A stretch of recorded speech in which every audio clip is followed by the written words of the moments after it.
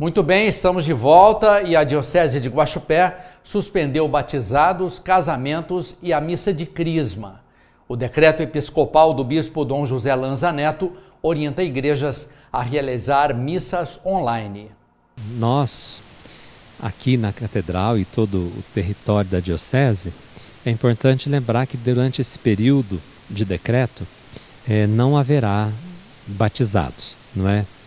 Pede-se que não se tenha batizados. E aqueles casamentos que estão agendados já posteriormente, a pessoa quiser casar, claro que nós vamos estar conversando, se quiser agendar mais para frente, ou se quiserem casar, podem casar, mas o número vai ser muito, muito restrito.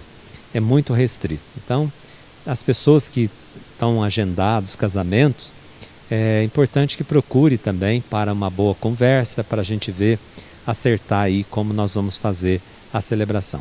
Os batizados, se puderem depois deixarem mais para frente, não é, para que também é, nós possamos tomar todo o cuidado necessário. E se for também batizar, é, tem que ser assim com um número bem restrito, muito restrito, não é? Mas é importante que se marque uma outra data, assim como casamentos, assim como batizados ou, ou outros sacramentos. É importante que se agende um pouco, um pouco, porque nós não sabemos por quanto tempo esse decreto perdurará. Então, mas é importante a gente conversando e dentro desse tempo de pandemia não tem jeito de prever nada, não, é? não dá para fazer planejamentos muito por futuro.